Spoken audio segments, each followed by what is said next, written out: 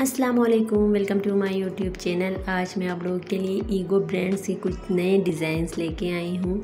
अगर किसी को ईगो के बारे में नहीं पता तो मैं डिस्क्रिप्शन में उसका लिंक दे देती हूँ। और वहाँ जाके मेरे कपड़े वगैरह मंगवाना चाहते हैं तो वो मंगवा सकते हैं।